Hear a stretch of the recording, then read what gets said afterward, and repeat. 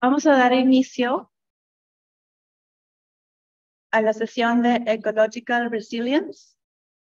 Hoy día tenemos, eh, según el programa, seis presentaciones eh, y por eso quisiera pedirles la colaboración a los ponentes en que yo puedo estar avisándoles cuando cumplan los diez minutos eh, y para poder tener unos dos o tres minutos de preguntas y las personas que vayan a preguntar que por favor se acerquen al micro, porque si bien se escucha en el cuarto, no se escuchan las personas que están en el Zoom.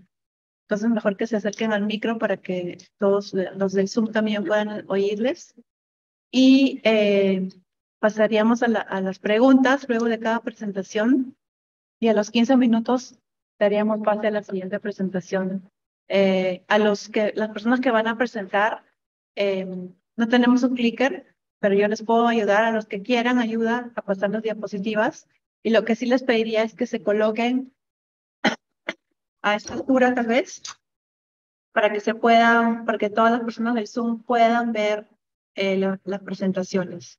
Y a la vez, al terminar la presentación, voy a estar acercándome un, ratito para ver si hay preguntas en el chat del Zoom. Eh, bueno, nuestra, nuestra primera presentación es a, cargo de Antonio Gómez y le damos pase a Antonio. Yo, con permiso de ustedes, me voy a sentar aquí delante de la compu porque sí que voy a tener que ir pasando.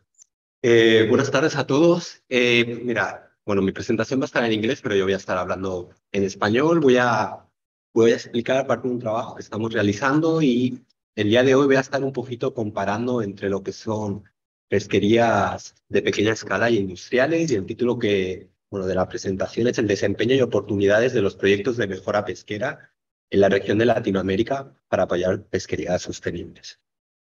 A modo de introducción, y como todos ustedes ya sabrán, la demanda de pescados y mariscos está desde las últimas décadas aumentando y se espera que siga así en las próximas. Por otro lado, empresas de venta de compra y venta de mariscos están incluyendo dentro de sus criterios de compra eh, criterios ambientales y de responsabilidad social como ecocertificaciones. ¿no? Aquí les pongo pues, algunas de las cadenas que han expresado esos digamos, esos, esas políticas de compra. Los proyectos... ¿Perdón? ¿Más alto? Ok, intentaré gritar. Los proyectos de mejora pesquera o FIPS, por sus siglas en inglés, a pesar de no ser ecocertificaciones en sí, están reconocidos dentro de estas políticas de compra de estas grandes empresas. Y lo que es un FIP o proyecto de mejora pesquera es un esfuerzo multiactor que intenta solventar problemas ambientales, problemas de las pesquerías, generalmente ambientales, pero también en, los últimos años han incorporado pues, temas sociales e incluso financieros. Aprovechan incentivos de mercado para llevar a cabo estos cambios. Y en, las últimas, los últimos años estos proyectos alrededor del mundo están aumentando en número. Fishery Progress es la ventana donde todos los proyectos de mejora pesquera pueden reportar sus, sus avances y es un lugar donde pues, se puede obtener eh, información confiable creíble y verificable por una tercera parte hasta cierto, hasta cierto punto. Aquí les he puesto un mapa de todos los proyectos que están activos o completados, que son unos 175 la última vez que lo miré, y podemos ver que la región de Asia-Pacífico y Latinoamérica es una de las regiones donde más se concentran este tipo de, de proyectos. Eh, para, para evaluar el desempeño de, de la parte ambiental de estos proyectos se utiliza el estándar de pesquerías del Marine Stewardship Council, que es este loguito de color azul que ven aquí. Y bueno, tienen 28 indicadores, pero se basan en tres principios. En la salud de los stocks objetivos, minimizar los impactos ambientales de las pesquerías y tener un manejo efectivo.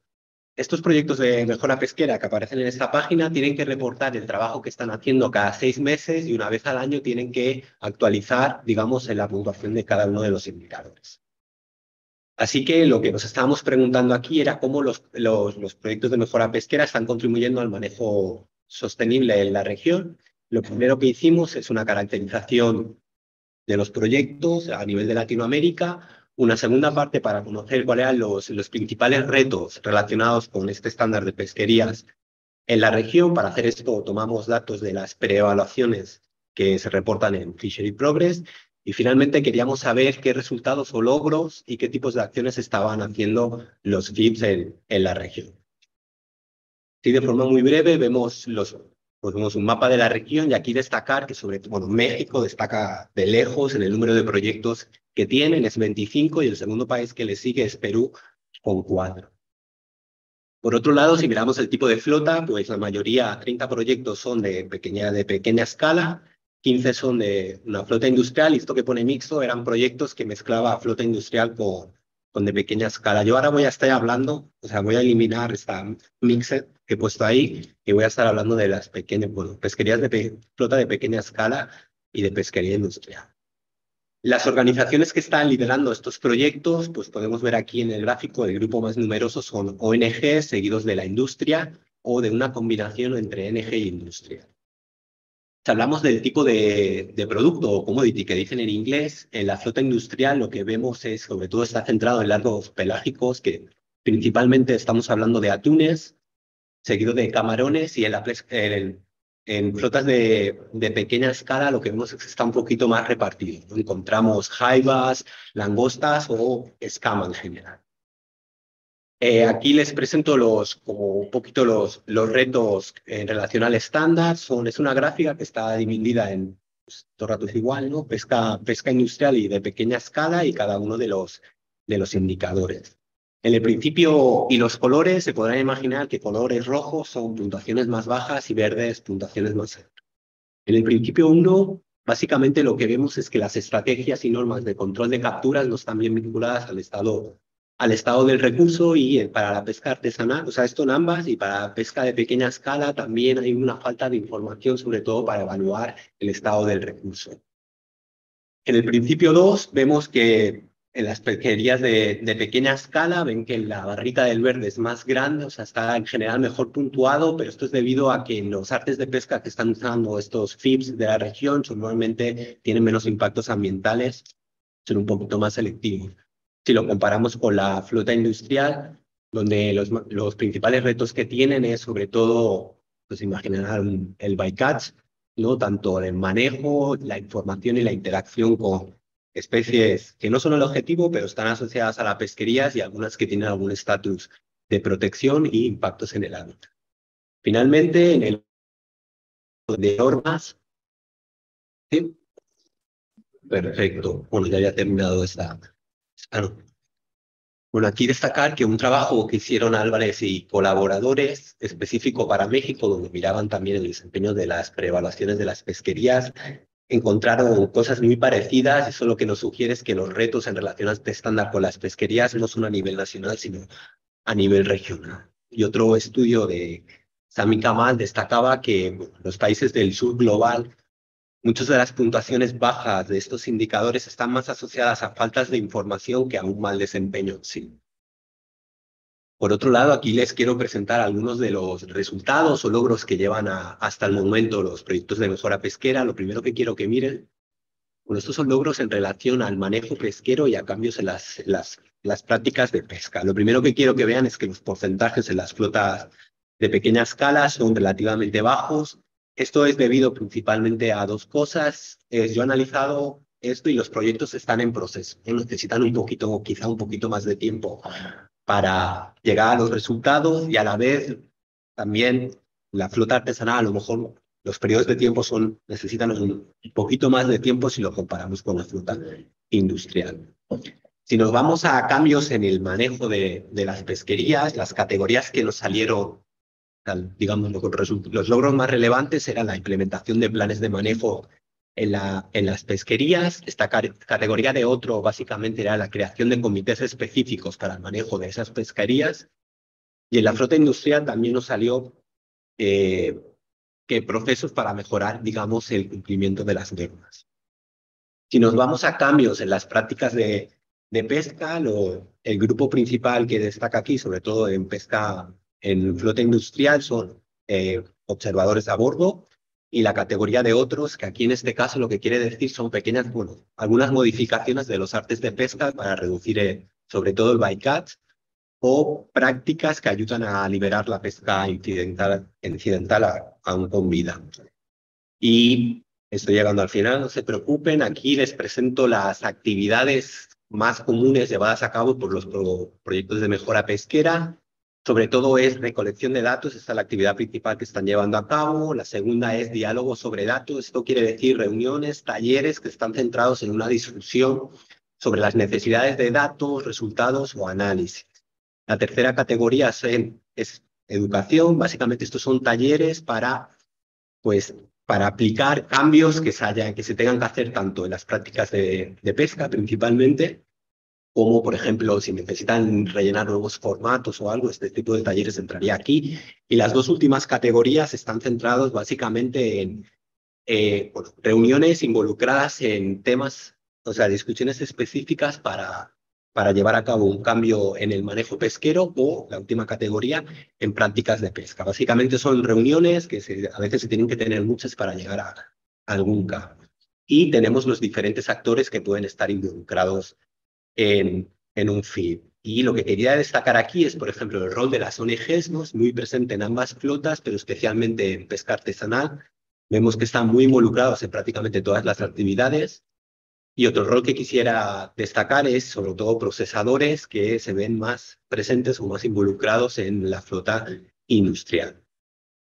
Y aquí pues los mensajes para que se lleven a casa, los proyectos de mejora pesquera están creciendo en la región y parece que están, son una herramienta útil para empujar al, al manejo sostenible de pesquerías. Las ONGs están siendo un actor clave en el desarrollo de estos FIPS y aquí, pues, la disponibilidad de fondos para que estas ONGs sigan funcionando puede ser clave para que estos proyectos avancen.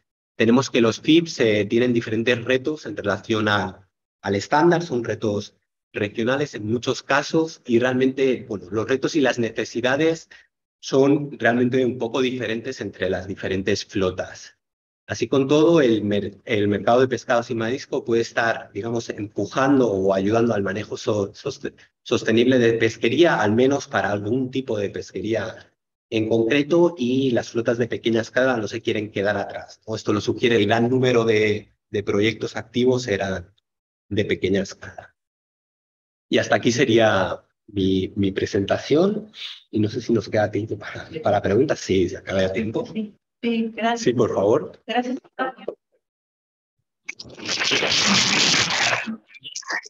Gracias por aquí. Eh, tal vez eh, pasemos a la primera pregunta y le pediría a la persona que va a preguntar que por favor se coloque atrás del micrófono para que las, las personas que están por el Zoom también puedan escuchar la pregunta.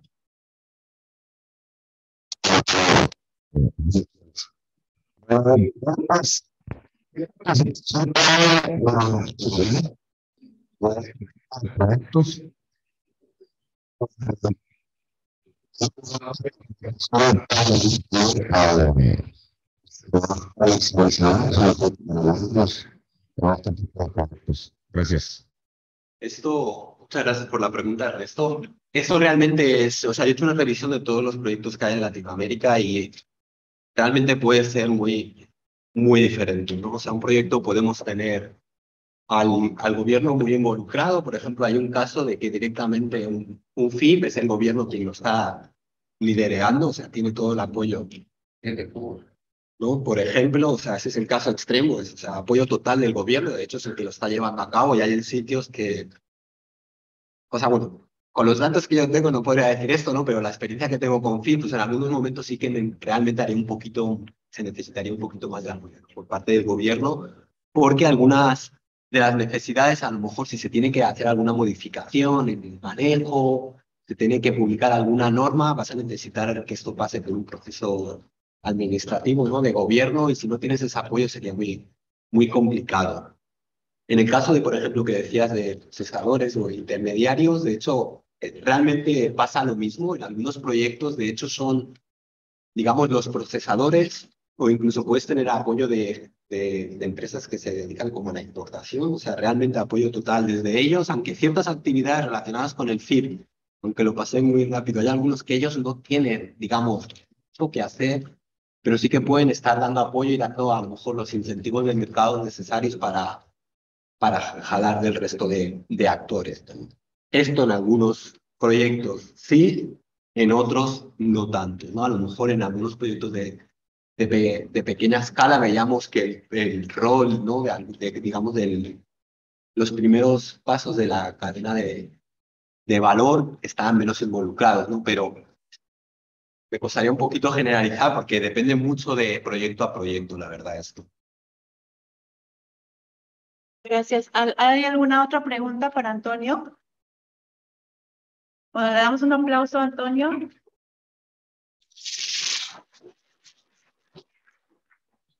Invitamos a Melissa Vázquez.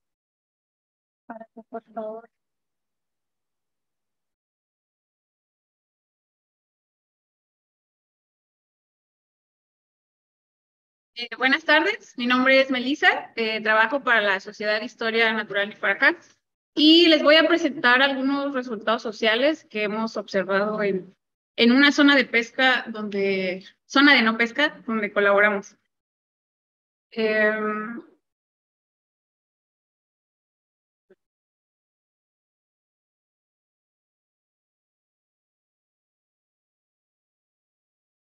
Eh, bueno, en la última década se ha venido incrementando el uso de herramientas que cierran ciertas zonas del, del mar eh, para promover el cuidado de los recursos pesqueros. Eh, esto principalmente con, la, con el objetivo de alcanzar metas internacionales y garantizar una seguridad alimentaria. hay diferentes herramientas dependiendo del país, porque aquí hay varios países. Eh, algunas eh, cierran de manera eh, parcial, otras total, esas zonas, la, la actividad pesquera. aquí en México, a partir del 2007, se integra en la Ley General de Acuacultura y Pesca las zonas de refugio, cuyo principal objetivo es conservar y contribuir al desarrollo de recursos pesqueros. Eh, la zona de donde yo les voy a platicar eh, se encuentra en el noroeste de México, en Baja California Sur, en el Golfo de California.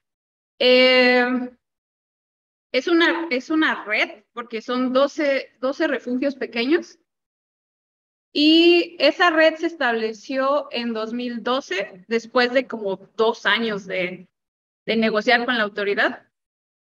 en esa zona hay 12 comunidades pesqueras muy pequeñitas la más grande tiene 250 personas, más o menos. Eh, su actividad principal es la pesca, la realizan de manera artesanal. Eh, algunas no tienen acceso por tierra, solo es a través de embarcaciones. Eh, en toda la zona hay alrededor de 225 pescadores y alrededor de 100 embarcaciones. Estas zonas han pasado por dos procesos de renovación, ya que tienen una duración de cinco años. La primera fue en 2017, eh, la segunda es este año, se mandó la solicitud a principios de año, estamos en espera de que la apruebe la autoridad. Em, bueno, no, no sé si alcanzan a ver bien, pero estas zonas son, eh, la mayoría son de no pesca total, no pueden pescar nada en todas las naranjas. Y en la que es azulita, que está más al norte, ahí eh, se permite la pesca, pero solo de un recurso y como con cierta arte de pesca, Entonces, en esta red de zonas de refugio eh, ya hemos empezado a ver resultados ecológicos, entre ellos eh, aumentos en la abundancia, en la biomasa y en las tallas, entre otros resultados ecológicos, pero no es de lo que les quiero platicar hoy. Hoy quiero que platiquemos sobre eh, cómo ha impactado esta herramienta en las comunidades, qué está pasando en las comunidades que dependen de esta actividad ahí. Eh, una de las cosas que hemos visto que ha pasado es que ha empezado a haber colaboración. Eh, bajo el esquema de un ordenamiento pesquero, la autoridad hizo un acercamiento con las comunidades con la intención de eh, ordenar la pesca, eh, regularizar los esfuerzos, identificar los, los puertos de arribo. Eh, y les hizo como la invitación de que armaran la propuesta de las zonas de refugio. Desde ahí se abrió como una línea de comunicación más directa. a partir de la instalación de las zonas de refugio, se instaló un comité consultivo de manejo en donde hay autoridades de la Marina, de Secretaría de Comunicaciones y Transportes, de la Pesca, ONGs, y en esa, en esa mesa de discusión hay representantes de cada comunidad. Entonces, eso es como una línea directa de las comunidades para poder hablar con el gobierno sobre los problemas de la zona, no solo sobre las zonas de refugio. Eh, tiene grandes áreas de oportunidad este comité, pero ya es una herramienta que está presente que podemos mejorar. Ah, olvidé mencionarles, les voy a compartir eh, resultados de algunas encuestas que se hicieron en el 2016 y 2021 y son para complementar estos, estos resultados sociales. Eh, se aplicaron a aproximadamente el 60% de los pescadores de la zona. El 53% de estos pescadores piensan que no ha habido cambio en la atención por parte del gobierno. Sin embargo, el 30% sí siente que antes había menos atención del gobierno, antes de que se instalaran las zonas de refugio. Eh, en el tema de colaboración, eh, pues ha habido mucho interés de otras organizaciones que han llegado y colaborado en la zona. Se ha visto una reducción de la brecha entre comunidades y gobierno. Eh, de esto les voy a platicar un poquito más adelante, pero a raíz de programas de monitoreo que hay instalados en la zona, eh, se ha invitado a, los, a las autoridades a colaborar con ellos y hay como una línea directa de comunicación, ¿no? Se sienten como más cerca de las autoridades. Y al mismo tiempo ha aumentado la comunicación entre las comunidades, especialmente entre aquellos actores que aprueban la herramienta. Entonces, en cuestión de, cooperación, les preguntamos que, cómo la, percibían antes de que se instalaban las zonas de refugio. El 66% piensa que no hubo cambio sin embargo, un 23% sí piensa que antes había menos cooperación dentro de su comunidad. Y con otras comunidades, eh, pues sí sienten que antes había un 20% menos de, cooperación con otras comunidades. Algo que también ha pasado, porque no todo ha sido bello, es que de repente ha habido eh, pues conflictos como que se han cortado ciertas relaciones de manera temporal. Eh, el 32% de los eh, entrevistados piensan que antes de las zonas de refugio había menos conflictos.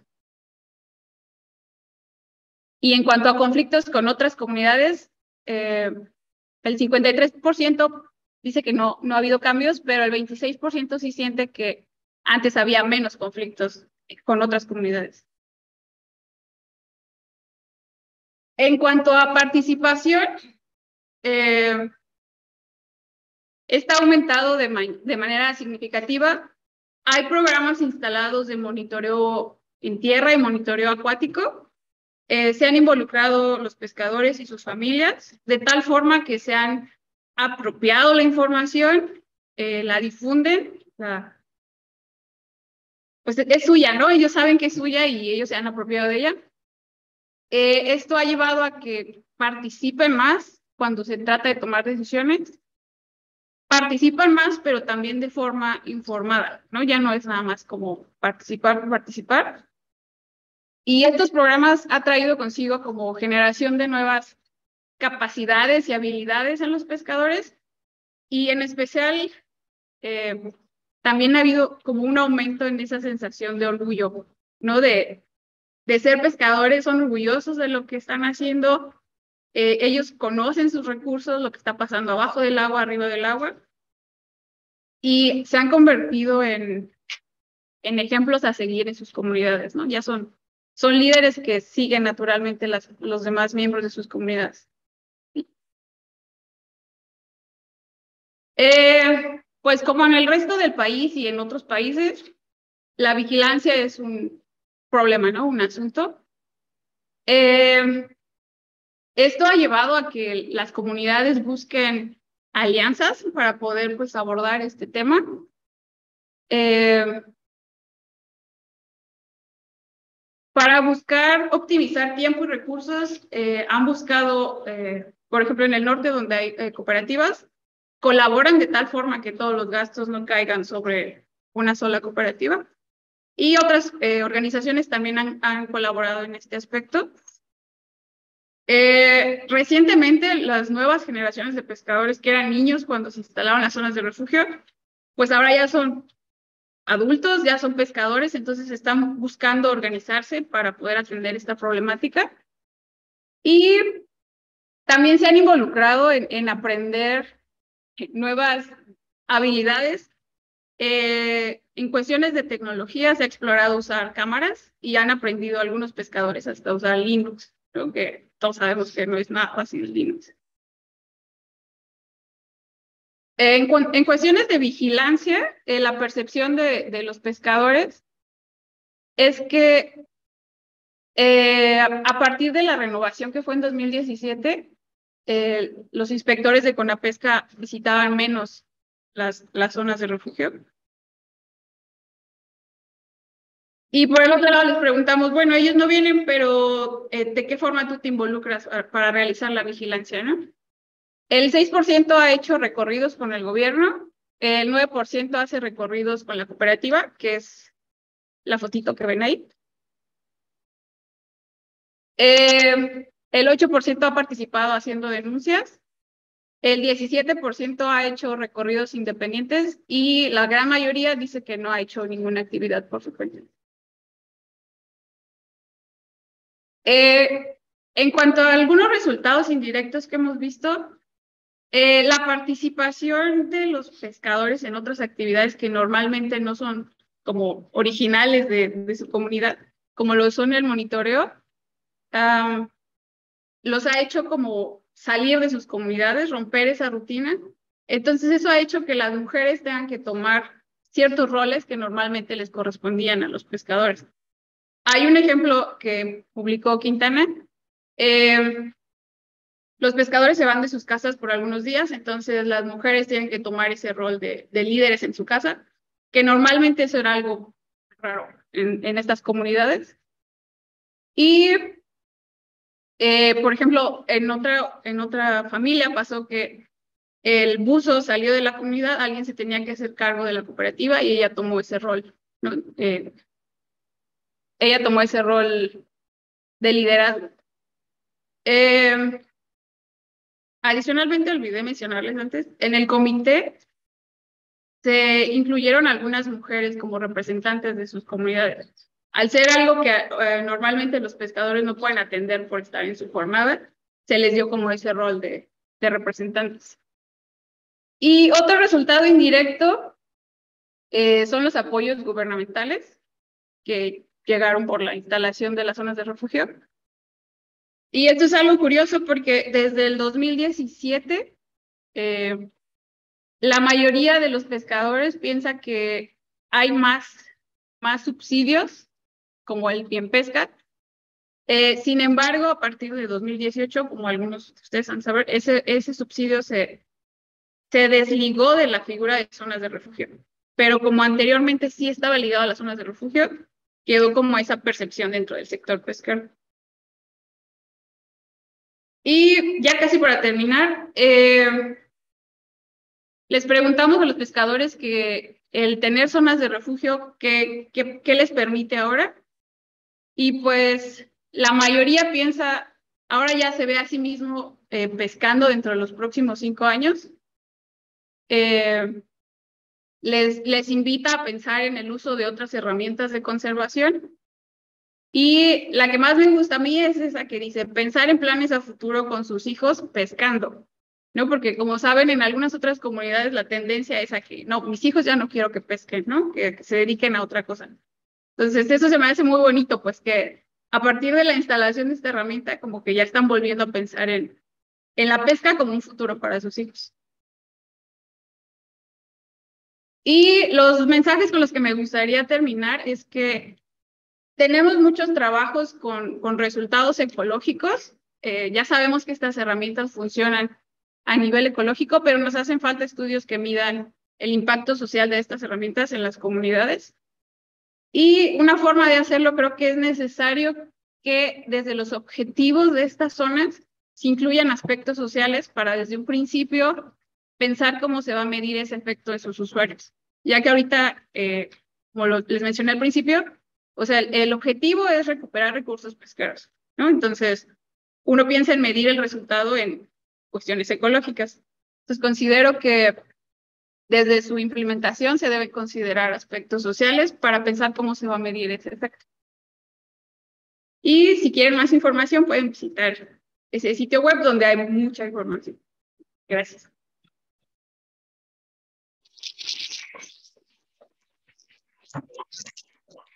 Gracias, Melissa.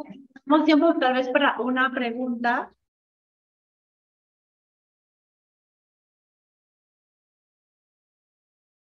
Pasa,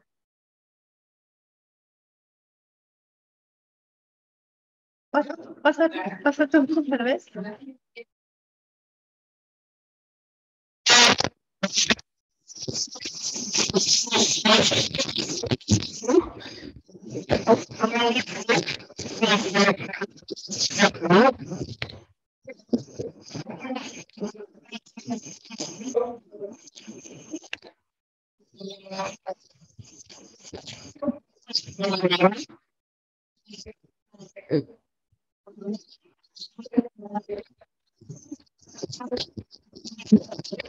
Pues, apoyada por las comunidades que dependen de esas zonas que se van a cerrar. Pero como algunas sugerencias, recomendaciones es que, pues, tienen que ser sitios que, o sea, que sí contribuyan a mejorar ese recurso que estás buscando. Me refiero, si estás buscando recuperar especies que son de arena y proteges algo que son de arena, digo, de piedras, pues no vas a, no vas a ver los resultados que esperas. ¿no? Y también algo que hemos visto y en cuestiones de vigilancia es que entre más cerca estén de las comunidades y ellas, ellas puedan apoyar en, en eso, es eh, más factible que veas resultados, mejores resultados. Esas son algunas Muchas gracias, Melissa. Te despedimos con un aplauso nuevo.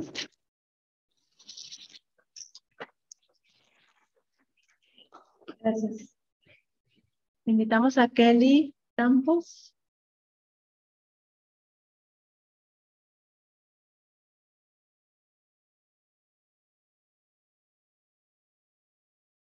Buenas tardes, mi nombre es Kelly y yo soy estudiante de la licenciatura en Manejo Sustentable de Zonas Costeras. Y lo que yo vengo a hablarles en realidad es mi proyecto de tesis. Este, en este lo, llego, lo he estado trabajando con mis profesores. Uno de ellos es el doctor David Romero, que es quien me ha estado ayudando con el procesamiento de los datos y el que nos está dirigiendo ahora sí con los temas que queremos tratar, que queremos llegar. Principalmente es el doctor Edgar Torres. Y pues lo que yo quiero hablarles son los datos, los resultados que hasta el momento nosotros tenemos y lo que sería la siguiente parte de este proyecto. Y bueno, como introducción, pues que primero les quiero hablar de la pesca artesanal o de la pesca en pequeña escala. Y de lo que tenemos es que estos son sistemas socioecológicos que tienen un papel muy, muy importante en la seguridad alimentaria y también que pues estos brindan trabajos a muchísimas personas en todas las regiones de todo el mundo, ¿no? Pero lo que estos tienen es que se encuentran en una alta vulnerabilidad debido a las perturbaciones naturales, pero también a las antropogénicas que el humano puede, eh, pues está causando en varias regiones del mundo. Estas pesquerías en pequeña escala representan el 90% de unos 120 millones de medios de subsistencia directos e indirectos para muchísimas personas. Y esto pues brinda apoyo a más de 500 millones de personas. Este, en América Latina se conocen alrededor de 2.500 comunidades que se enfocan ahora sí que se dedican a la actividad pesquera. Aquí tienen eh, mucho juego, no solo los hombres, sino también las mujeres, y que algunas veces incluso las, son, son familias, los niños ya se encuentran involucrados en esta actividad. Y pues bueno, se desarrollan en aguas pues poco profundas. Este, estos, lo que capturan puede ser para venta o por consumo. Y no solo es como cooperativas como nosotros conocemos aquí en Yucatán, sino también puede ser de manera individual, pues cada pescador puede hacer eh, su propio negocio, ¿no? Y bueno, esta vulnerabilidad en América Latina, pues el impacto que se ve, pues son la pérdida de los ingresos económicos que esto puede tener. Y bueno, aterrizándolo un poquito más, ahora sí que en nuestra región, en nuestro país, este, México cuenta con eh, 11.000 kilómetros de litoral, donde esto lo lleva a figurarse entre los 20 países de, de, producción pesquera más importantes en el mundo. Y se llegan a capturar más de 2 millones de toneladas, y entre ellos destaca el, el camarón, la mojarra y el atún. Este, la flota pesquera se conforma por 76.306 embarcaciones, y aquí estamos hablando de la pesca artesanal. Entre, entre la, las embarcaciones menores, que es la pesca, artesanal, son 74.286 y que como recientemente escuchábamos en una de las presentaciones que se nos están dando, quizá estas no aportan tanto al PIB, pero su importancia radica en este trabajo que, que le da a muchas personas y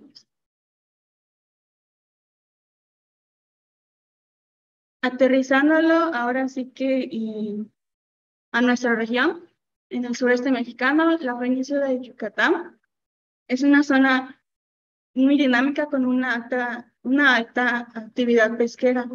Es una de las zonas más importantes y dentro de la región del Golfo de México, el 46% de los recursos se llegan a capturar aquí. Este,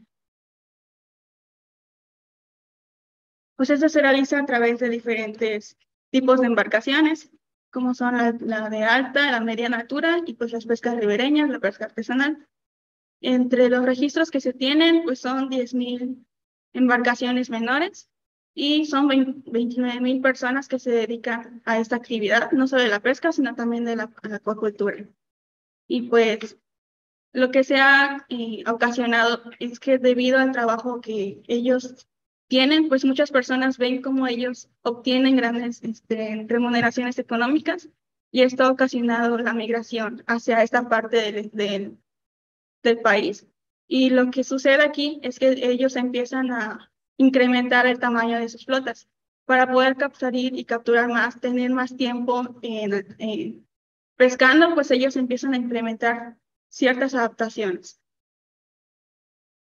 Entre los recursos principales que se capturan en esta, en esta región se encuentran las tres especies. La primera son las especies demersas, entre ellas podemos resaltar el mero, las especies pelágicas como es el atún, la el carito, la sierra, la sardina, pero también se encuentran los invertebrados, como lo es el pulpo, el camarón y la langosta.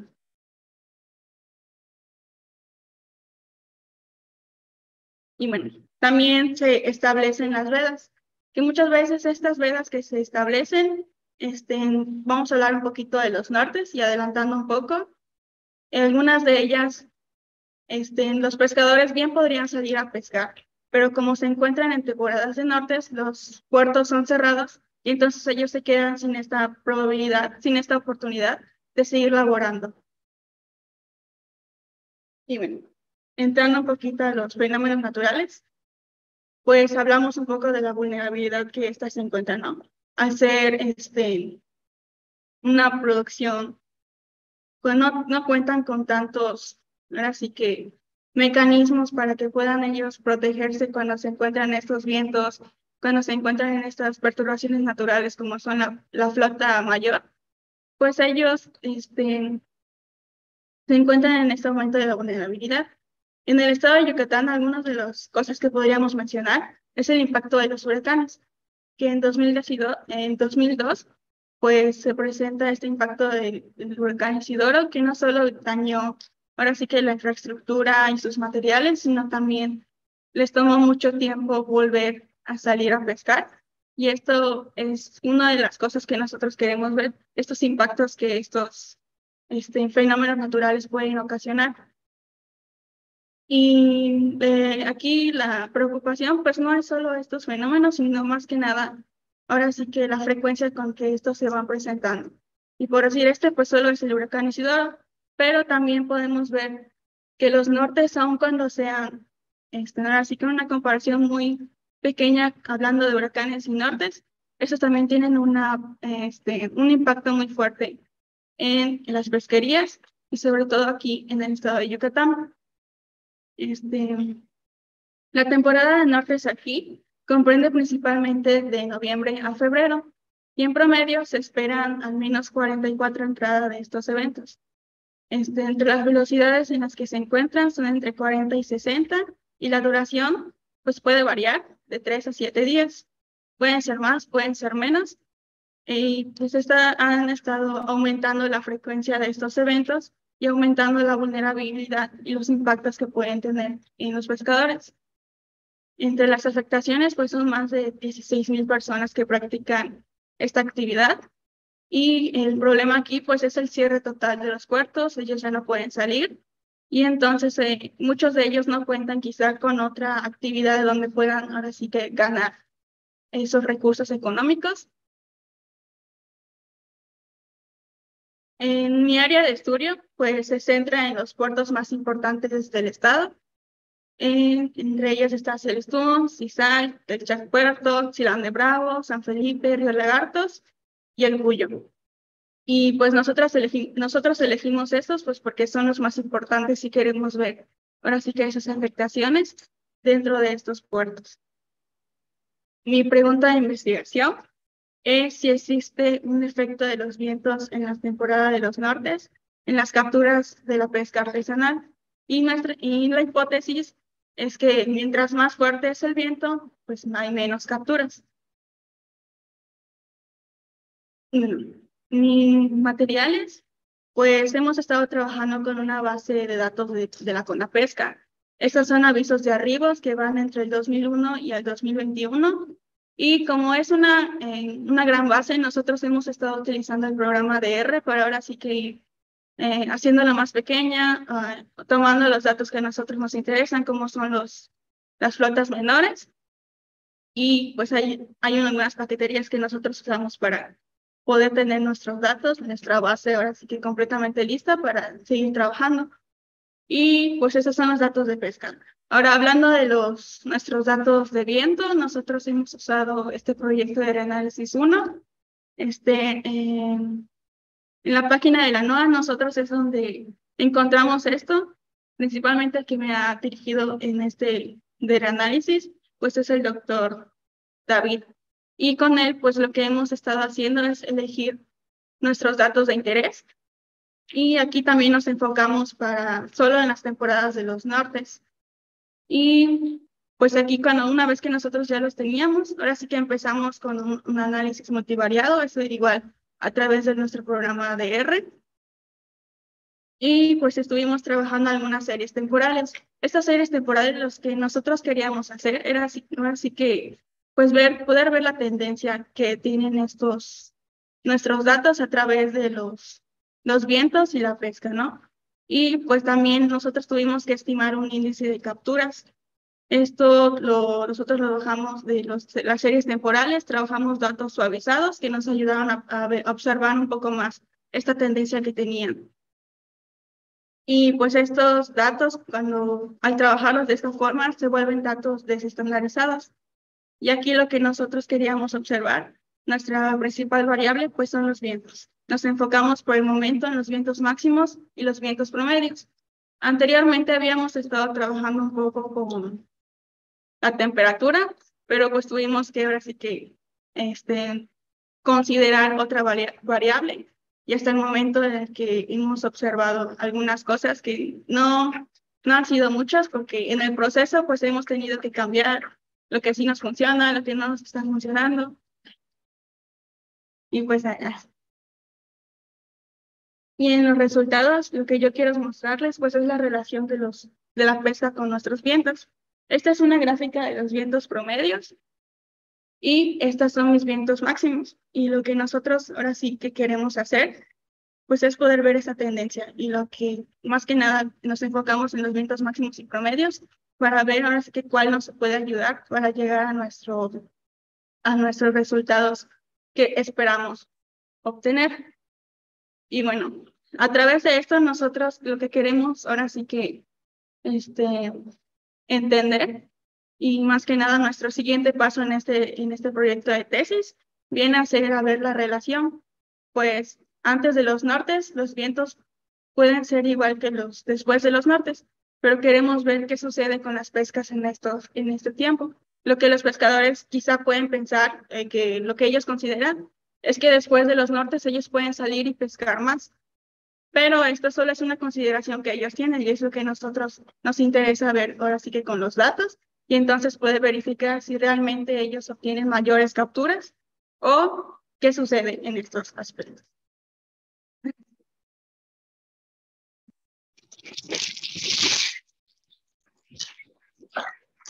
Eh, Kelly, le su presentación, pero quiero también preguntar al público si alguien tiene alguna pregunta para ella.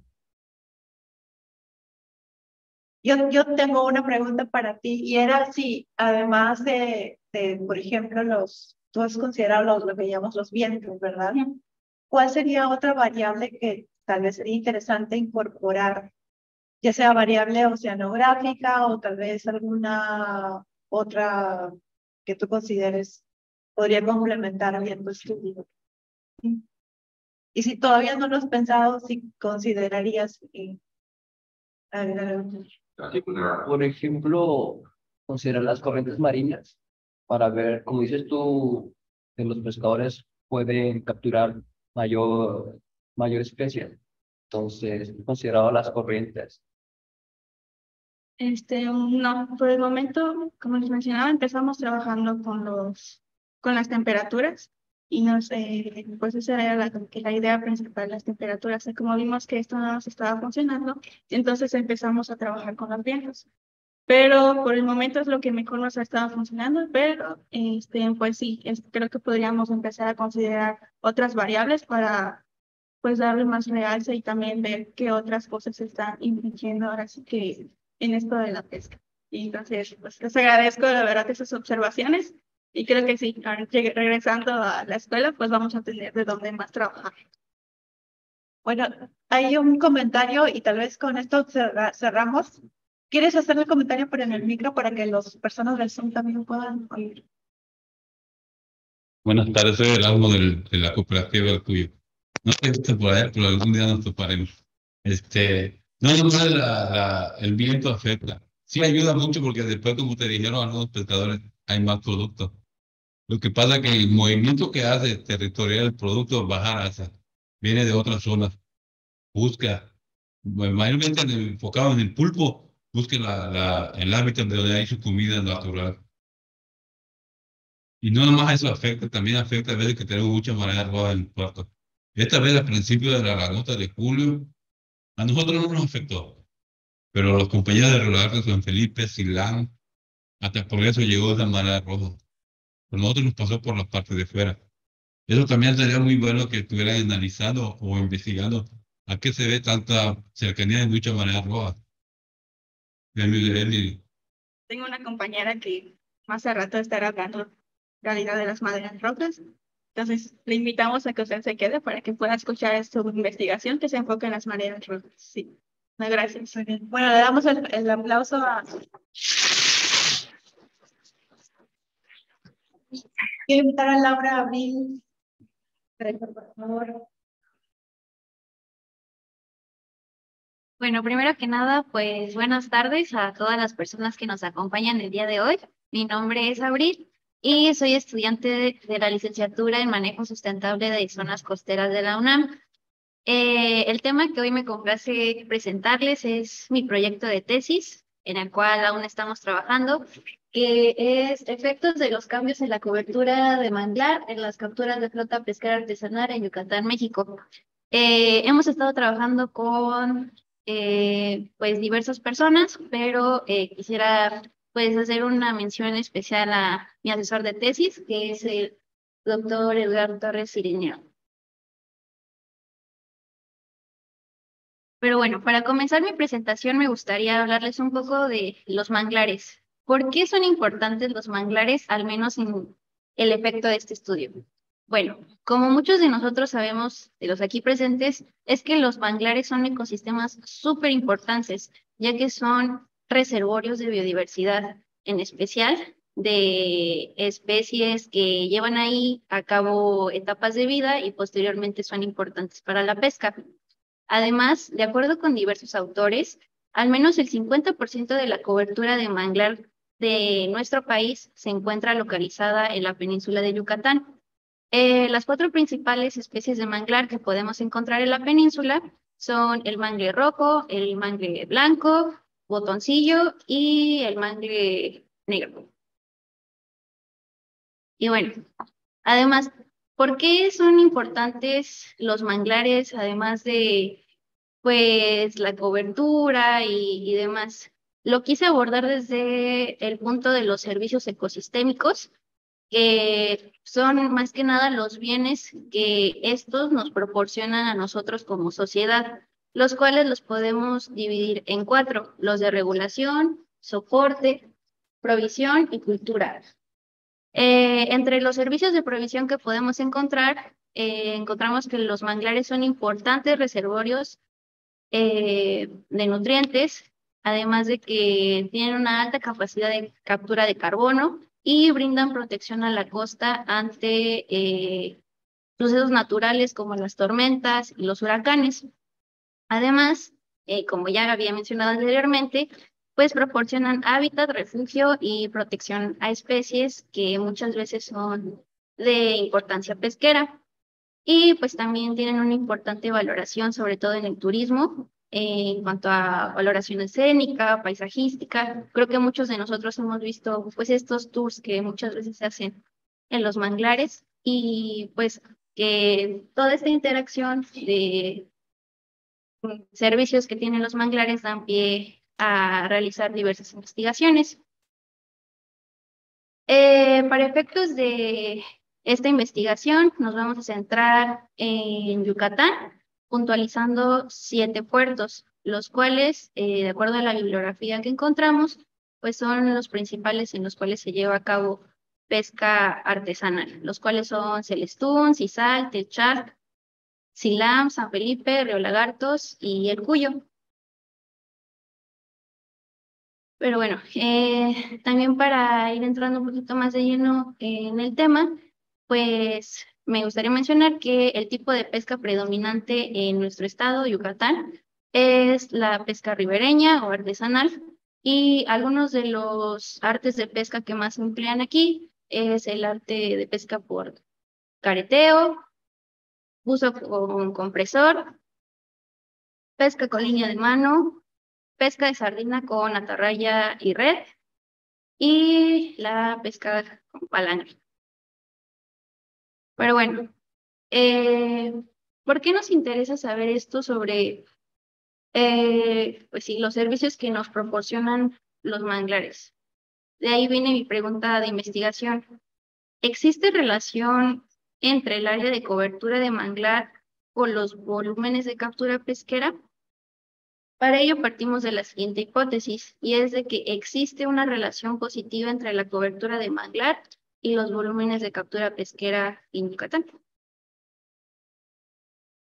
Eh, bueno, les presento la metodología, eh, pero antes me gustaría mencionar que este es un estudio que está financiado por parte del proyecto Papitunam, que es el que está mencionado ahí. Sin ellos, pues no, no sería posible recabar todos estos datos y esta información. Pero bueno, lo primero que realizamos fue una revisión bibliográfica acerca de las especies de interés pesquero que sabemos que realizan o llevan a cabo alguna etapa de su vida en los manglares. Posteriormente se llevó un análisis estadístico en el programa de, en el lenguaje de programación, perdón, R, y eh, al menos para los datos de capturas, lo que primero se hizo fue la obtención de los índices de captura para cada localidad antes mencionada, es decir, los siete puertos, y pues se usaron datos de Conapesca, que van del periodo del año 2000 al 2020. A partir de esos índices de captura, se calcularon las tasas de cambio de las capturas. Posteriormente se calculó la captura promedio por año de, esos, de esas localidades. Y para los datos de cobertura de manglar, a, partir de una base de datos de Conavio de los años 2005, 10, 15, 20, se generaron buffers, que son pues esos recuadritos eh, azules que vemos ahí, y con ayuda de esos obtuvimos las tasas de cambio de la cobertura de manglar. Posteriormente se hizo esta evaluación de comparar si había relación entre eh, la tasa de cobertura de manglar y la tasa de cambio de, de las capturas pesqueras. Y finalmente, bueno, lo que llevamos de este estudio, realizamos una segunda evaluación, pero ahora tomando en cuenta la captura promedio anual y la cobertura de manglar. Eh, pues como mencioné en un inicio, eh, este proyecto aún no está terminado, es, estamos trabajando aún en él, por lo que voy a presentar resultados preliminares, que es lo que hemos encontrado hasta el momento. Eh, de las primeras cosas que hemos encontrado, pues bueno, ahí es una gráfica explicando las capturas anuales por localidad del año 2000 al 2020. Podemos notar que la localidad en la que más volúmenes de captura se han detectado es en Celestún, Celestún, perdón, seguido de, de Cisar y Silam. Eh, y bueno, como mencioné hace un momento en la metodología, lo primero que hicimos cuando ya obtuvimos todos los datos fue revisar si había una relación directa entre los índices de captura anual y la cobertura de manglar, la tasa de cambio. Desafortunadamente no, no encontramos relación significativa entre dichas tasas. ¿Eso cómo lo podemos observar? Pues nosotros esperaríamos que a mayor cobertura de manglar, las tasa, la tasa de cambio de las capturas de igual forma aumentaría y pues se vería una pendiente en la línea roja. Sin embargo, pues no todo estuvo perdido. Eh, afortunadamente encontramos este estudio del autor Aburto Oropesa junto con colaboradores del año 2008, en el cual estaban realizando igual una, una comparación para observar si había relación entre la cobertura de manglar y este, los volúmenes de pesca, pero ellos lo que hicieron fue considerar la captura anual promedio y el área del manglar, eh, no las tasas de cambio. Y pues al hacer eso, observamos que, que sí había una relación significativa. Podemos observar que eh, Celestún pues, es el, lugar que mayor cobertura de manglar tiene y pues a su vez también mayores capturas. Y vemos una, una línea creciente. Y bueno, en nuestras consideraciones finales, eh, pues bueno, dado que el valor observado de Celestún que observamos, eh, pues es bastante significativo, ya que pues de no encontrarse Celestún quizás no veríamos esa línea, hay que considerar que esta gráfica es solamente del año 2020. Entonces, eh, lo que nos gustaría seguir trabajando en este proyecto es ver si hay relación significativa de igual forma, pero en los otros años. Eh, es decir, comparar la captura promedio anual del periodo 2000 a 2005 con la cobertura de manglar de 2005. Posteriormente, la captura promedio anual de las capturas del año 2006 al 2010 y la cobertura de manglar del 2010 y así sucesivamente. Eh, bueno, ya para finalizar, me gustaría agregar que creo que es importante tomar en cuenta este tipo de estudios ya que a pesar de que en la literatura siempre se nos menciona que los manglares son importantes ecosistemas y que proporcionan sitios de, de pues sí, para que haya especies, proporcionan hábitat, refugio, mm, buscando en la literatura no hay este tipo de estudios que, que hagan esa relación directa de los volúmenes de captura y el área de manglar. Entonces creemos que es una, una puerta importante para abrir discusiones ante este tema. Y eso sería todo por mi parte. Gracias.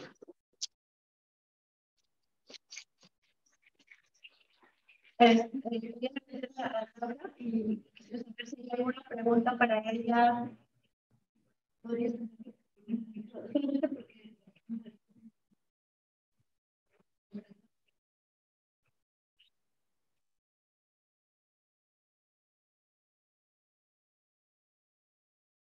¿Acá? ¿Listo? Sí. Ok.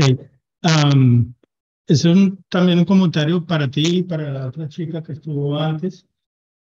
Y bueno, es que en esto no siempre, eh, esto ya más aporte, pues tratar de, aportarles un poco en, en todo esto de buscar relaciones entre variables ambientales y variables de desempeño pesquero.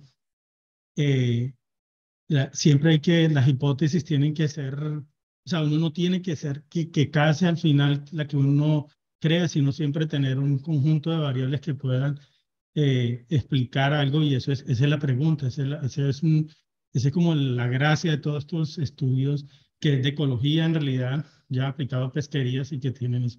Otra cosa que te puedo decir, nosotros, yo acabo de sacar con un estudiante de doctorado un artículo eh, que te lo puedo compartir ahorita de, de la relación entre el manglar y la pesca, que es muy difusa. Y, ahí, y se ha hecho tanto a nivel experimental, eh, o sea que se crean casi manglares artificiales para tratar de controlar efectos, porque no es fácil encontrarla, a pesar de que el empirismo dice que sí hay, supuestamente el manglar es refugio, zonas de crianza, etcétera, pero no, no hay. Hay trabajos muy fuertes de Australia y este lo hicimos en Colombia y, y, se hizo casi un experimento, ya, pero un experimento en terreno. Y era entre guardando distancias más cerca del manglar, estado del manglar, eh, tipos de, y no se utiliza captura, sino índices de abundancia, o sea, captura por unidad de esfuerzo. Es una variable que dice más en una medida más de la abundancia, porque la captura es influenciada por las épocas de mayor del mercado, que hay mayor oferta y a veces eh, eh, oscurece las relaciones. Entonces, ese te lo, te lo puedo compartir ahorita porque salió hace el mes pasado y, y, les va a servir mucho porque no es una relación fácil así, pero sí dice mucho de lo que hay. Y también las relaciones no son lineales. Ya, eso, o sea, eso es, eso pues sí, de pronto ustedes están empezando y es totalmente válido y muy interesante las preguntas y son retadoras, pero te vas a dar cuenta y en la medida que que por eso hay muchas más herramientas para eh, aproximaciones estadísticas eh, que no dejan de ser ejemplos, pero se tratan de acercar más a la realidad cuando las relaciones no son lineales. ¿Ya? Ok, eso era la pregunta. Eh, sí, pues muchas gracias por el comentario. Igual sí, agradecería mucho si, si pudiera compartirme el estudio. Y pues sí, claro que voy a tomar en cuenta todas, todas sus observaciones. Muchas gracias. Bueno, la despedimos a, a Laura, gracias. ¿Podría acompañarnos, por favor, María Tavera?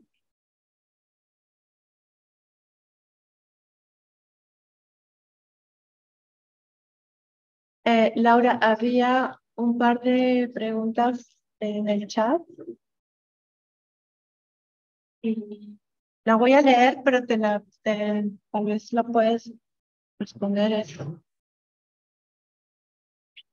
Wendy Chávez pregunta, ¿a qué le atribuye que la captura y no el índice de captura esté relacionado con la cobertura del manglar?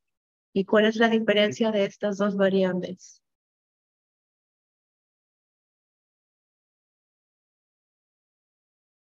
La, separación de las dos variables, que al tomar en cuenta el índice de captura no, no veíamos Tal vez lo que sugeriría, eh, y por temas de tiempo, es de que ingreses al chat, por favor, y le respondas. Sí, sería excelente.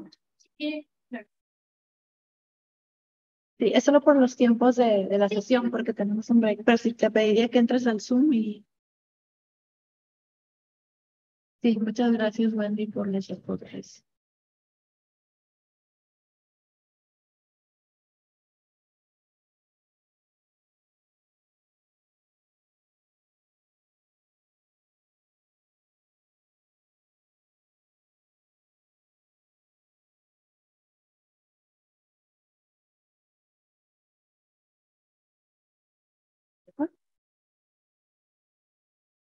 Muy bien.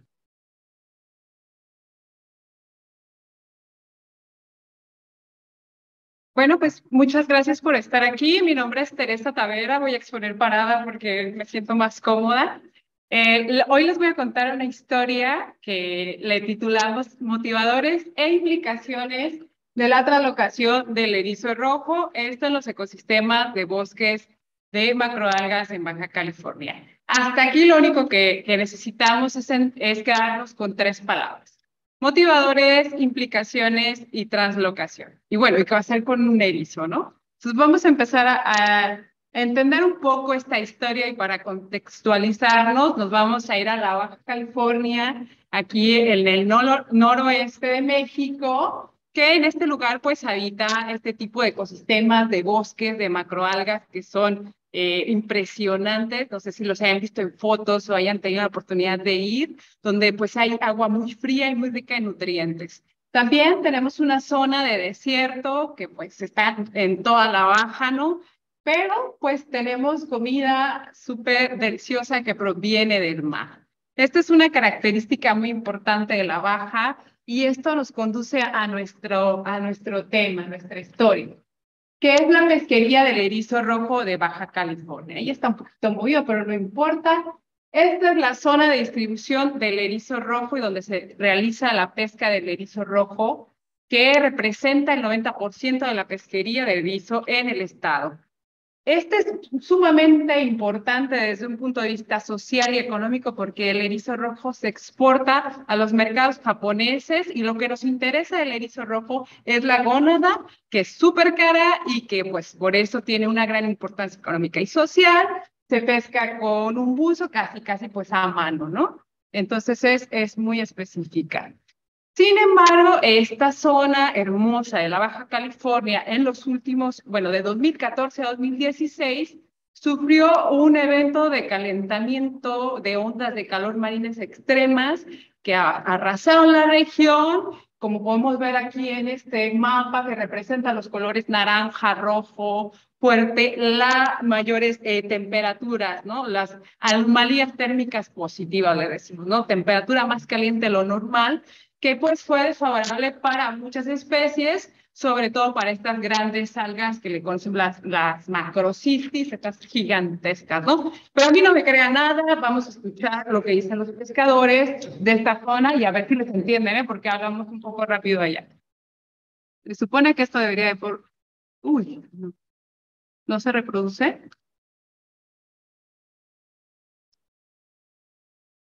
Eh, no se reproduce, pero bueno, sí, no se reproduce. Sí.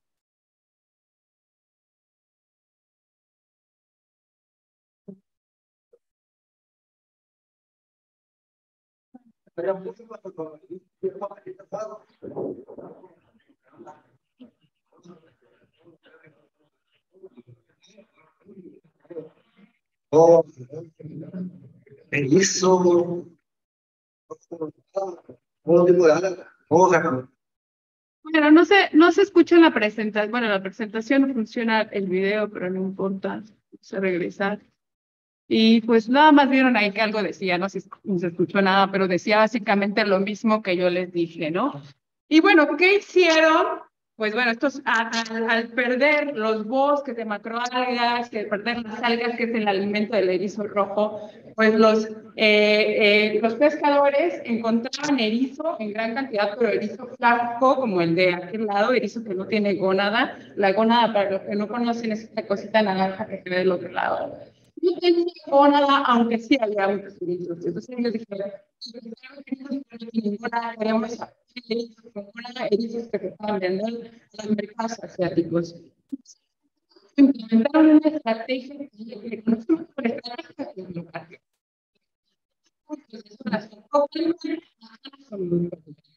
para que engorde, ¿no? Tiene como lógica eso, ¿no? Más a fondo acerca de esta estrategia, por qué la hacen y todo esto, hicimos una entrevista y muchas charlas informales con un actor clave de la pesquería. Es el técnico de la, de la cooperativa Ensenada y tiene muchísimos años, como 30 y no sé cuántos años de experiencia, eh, y además es una persona que ha impulsado mucho eh, las actividades para lograr la sustentabilidad de las pesquerías. Entonces, un actor clave. También hicimos muchas encuestas, bueno, no muchas, poquitas, tres encuestas a, con pescadores de erizo, pero buzos pescadores de erizo que hubiesen pescado erizo translocado y erizo no translocado. Es decir, erizo no translocado, el que está ahí, que nunca se ha movido, y el erizo traslocado el que han agarrado y el que han pasado a, a otras zonas. ¿Vale? ¿Qué encontramos de esto? Bueno, ¿cuáles son las implicaciones de la estrategia de traslocación? Para empezar, y que nos alcanza a ver, tienen una zona exclusiva reservada para realizar la traslocación, un cuadro de 3 kilómetros cuadrados. Dos, tienen un control de la cantidad de erizos que meten y que sacan.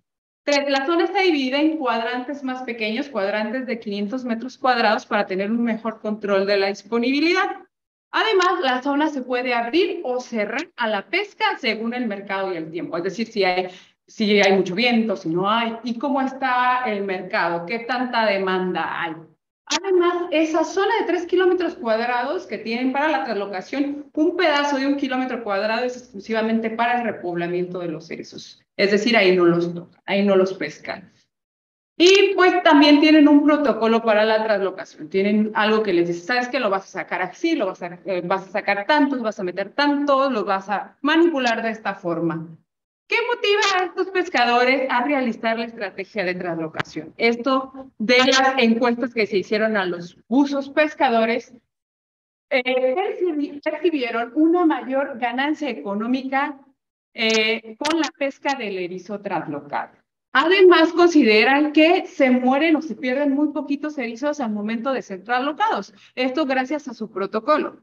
La gónada de los erizos traslocados es de primera calidad. Ellos consideran que la gónada es de primero, ¿no? Y además, algo sumamente importante es que se reducen los riesgos a la salud. ¿Cómo está esto?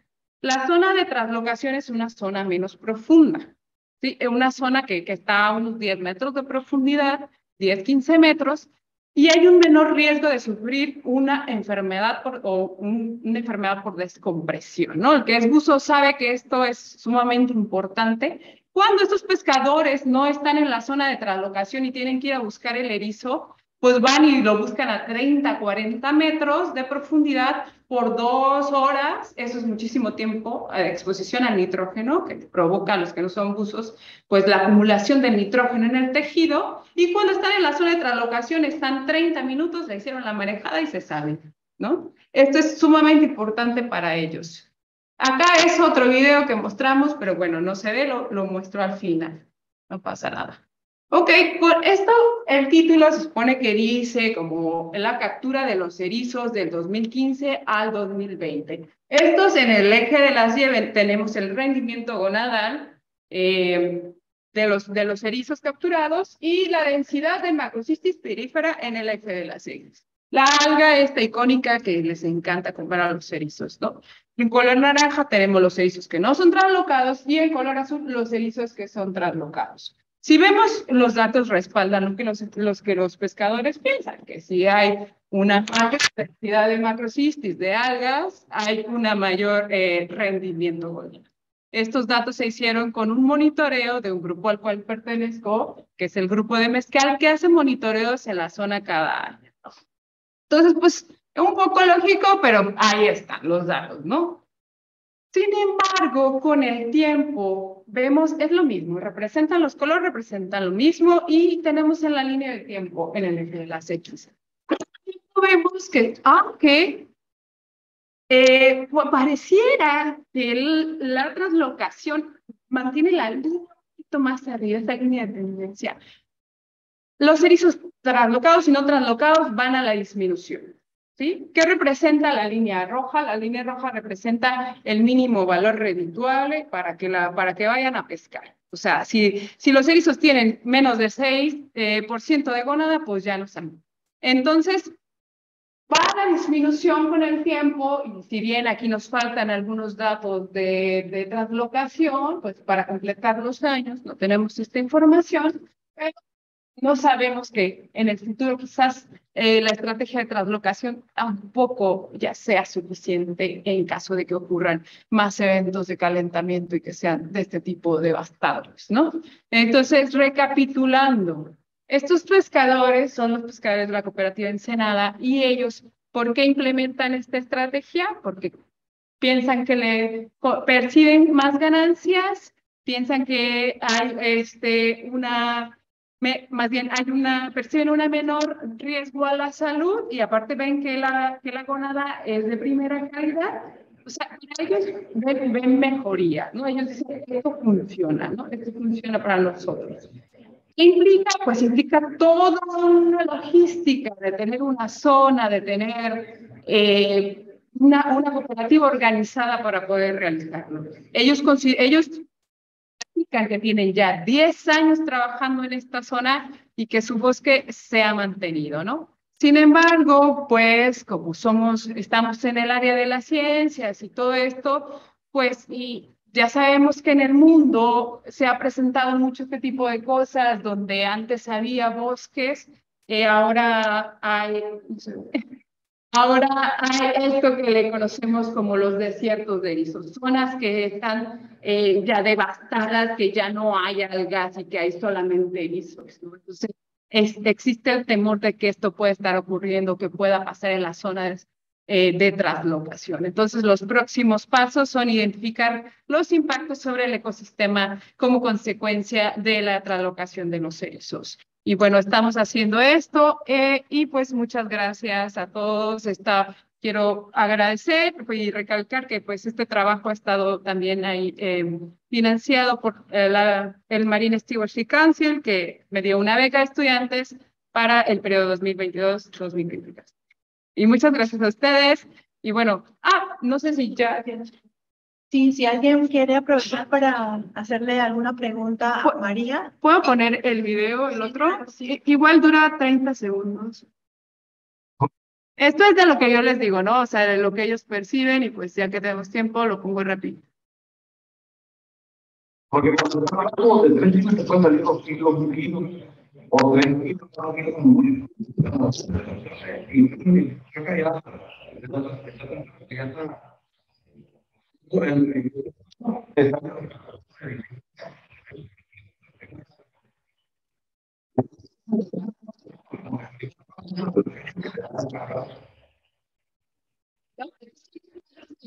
Igual, de ahí aprovechando el momento, podemos, si gustan, pueden encontrar los videos completos ahí en el, Instagram.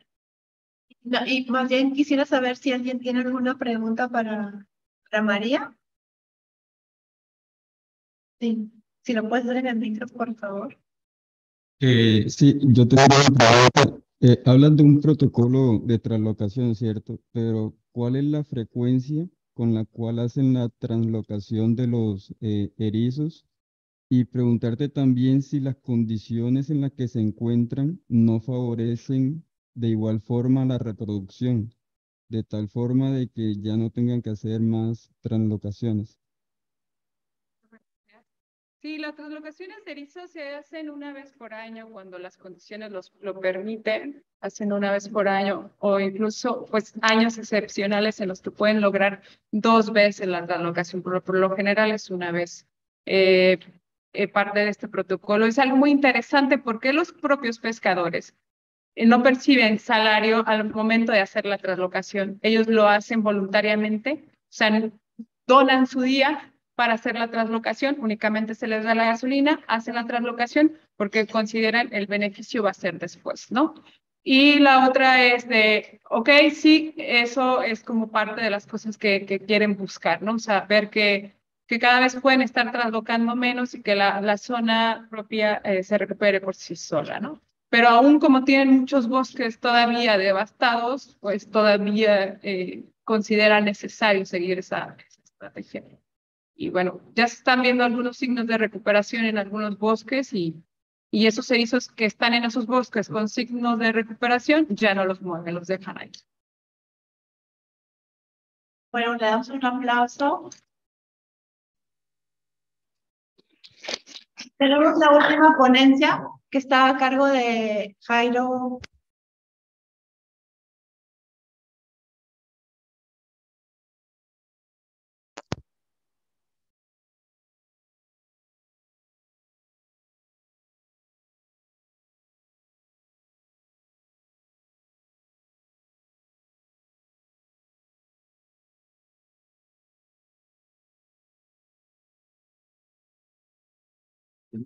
Sí, claro, puedes seguir.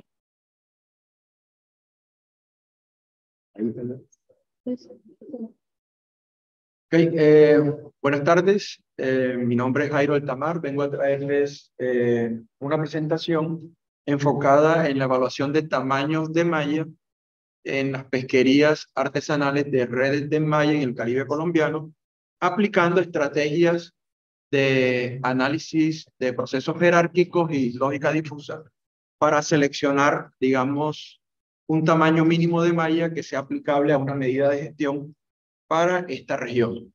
Eh, mi nombre es Jairo Altamar eh, y con los colegas Arlet Martínez, Carlos Robles y Luis Manjarres. Bueno, este es el contexto general casi que de la mayoría de las charlas. Eh, hay procesos de sobreexplotación que son a nivel global. En muchas de las regiones del mundo se vienen presentando disminuciones en las series de tiempo relacionadas con la abundancia y eh, pues, recientemente el informe Sofía nos ha revelado que el 25% de los stocks están siendo sobrepescados. Esta realidad a nivel global, pues también se traduce o la hemos detectado eh, en Colombia eh, ya hace más de una década y hemos evidenciado que cerca de el 50% de las abundancias de algunos de los recursos demersales han disminuido en tres décadas, lo cual es un tema bastante importante para la región.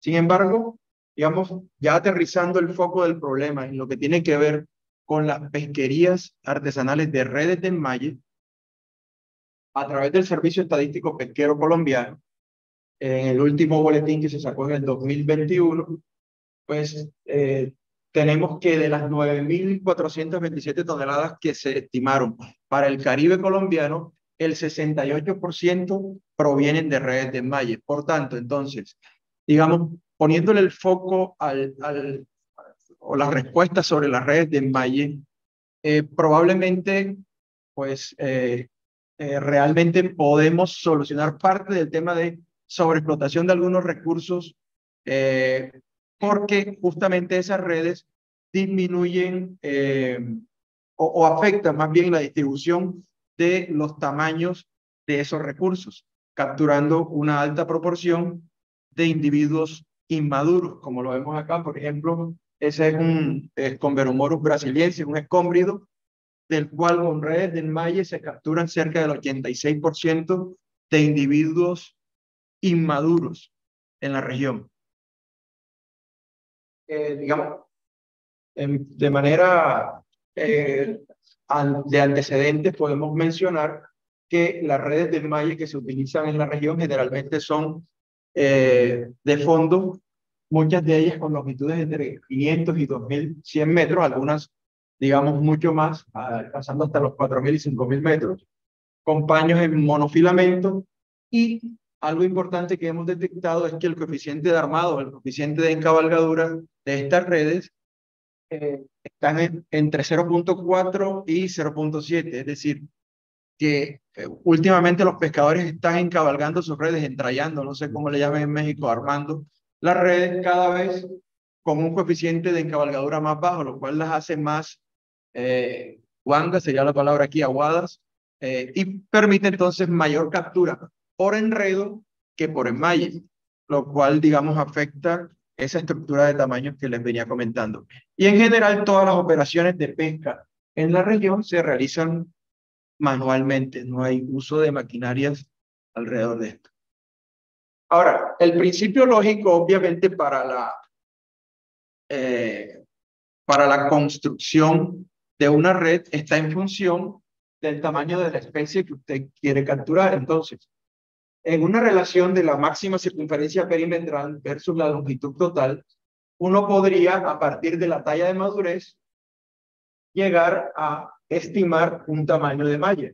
El, perímetro de la malla, que sería como la suma de las cuatro As en, en el rombo, sería aproximadamente el 80% de la circunferencia perimetral. Entonces, el tamaño de la malla sería pues la mitad, 0.4 o el 40% de esa circunferencia eh, perimetral. Pero ¿cuál es el problema de esta, digamos, de esta aproximación? El problema es que esto es monoespecífico. Esto solo aplicaría a una especie en particular y como todos sabemos, las pesquerías de enmalle son multiespecíficas. Eh, y entonces, ¿cómo saber entonces, por ejemplo, desde la autoridad que regula la gestión, cómo saber cuál es el tamaño óptimo o el tamaño mínimo de malla que deberían utilizar las pesquerías? Esta es parte entonces de la aproximación que yo quiero traer. El objetivo que nosotros pretendemos es establecer un tamaño de malla mínimo recomendado para las pesquerías de redes de malla en el Caribe colombiano, pero a diferencia de lo que les acabo de mostrar que se basa solo en las relaciones morfométricas, aquí entonces consideraremos distintos criterios eh, tecnológicos o pesqueros, ecológicos, biológicos, económicos y hasta culturales. Entonces, ¿cómo lo vamos a hacer? Eh, bueno, porque ya tenemos parte de los resultados que les vengo a compartir hoy. En el Caribe colombiano tenemos eh, tres estratos geográficos establecidos por la eh, por el Servicio Estadístico Pesquero de Colombia, de los cuales dos son continentales, están asociados a ambientes continentales, entonces nos quedan 11 estratos. En esos 11 estratos hemos levantado información que nos ha permitido desarrollar la siguiente metodología.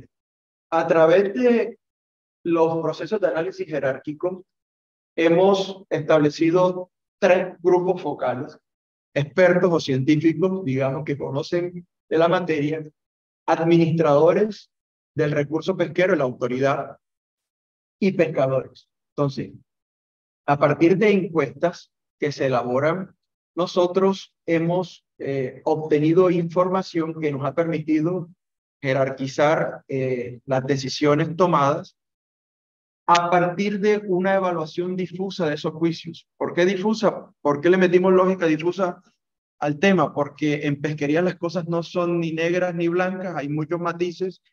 Entonces, digamos que eh, esa primera etapa, antes de llegar al análisis de, de procesos jerárquicos, nos va a permitir eh, tener una mejor aproximación, sobre todo de los encuestados, hacia el resultado que queremos, que queremos buscar.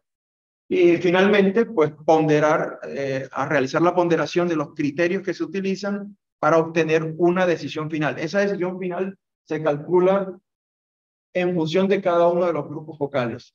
Tendremos después una respuesta para expertos, una respuesta para administradores y una para pescadores. ¿Y qué es lo que estamos buscando? Pues lo que buscamos, bueno, esta es la, la escala primero, la escala difusa en donde cada vez que preguntamos por la comparación de dos criterios, entregamos información que pareciera una encuesta de, supermercado, ¿no? Porque al final tenemos igualmente importante, moderadamente importante, fuertemente importante, muy fuertemente importante y extremadamente importante. Entonces, ¿en qué se basa el análisis jerárquico de, eh, de procesos jerárquicos? En que por allá en la década de los 70, un señor Sati se enfocó en el estudio a partir de información psicológica de que para el humano siempre es mejor comparar dos cosas, no más de dos.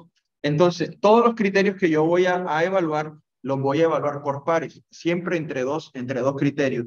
Y el puntaje lo obtengo a partir de la escala que va de 1 a 9 con números impares, siendo 2, 4 y 6 como los valores adyacentes de esas respuestas que me entreguen. Eh, Sorry, ya.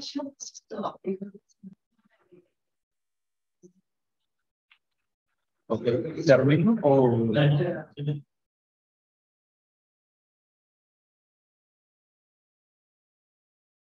Ok, no hay problema. Eh, y solo podría pasar a la última diapositiva para cerrar. Eh, déjame en esta, déjame esta. Eh, bueno, tenemos que cerrar. Eh, los que gusten, quieran seguir conversando sobre el tema, un poco la respuesta que ya tenemos sobre esto es que los expertos nos han comunicado a través de los resultados que obtenemos que 3.5 pulgadas es el tamaño que ellos consideran. Los administradores del recurso, 4 pulgadas, obviamente ellos quieren, digamos, están en el, en el propósito de proteger. Los pescadores 2.5, ellos están en el propósito de buscar estrategias para eh, eh, capturar más. Y cuando se combina todo, el resultado es 3.5 pulgadas. El asunto es fácil. más adelante, creo que ya nos están cerca, eh, eh, resulta que este valor coincide con la estimación de la circunferencia perimetral para una de las especies más importantes que se capturan eh, con estas pesquerías de maíz. Bueno, los invito a tomar un café. Disculpa.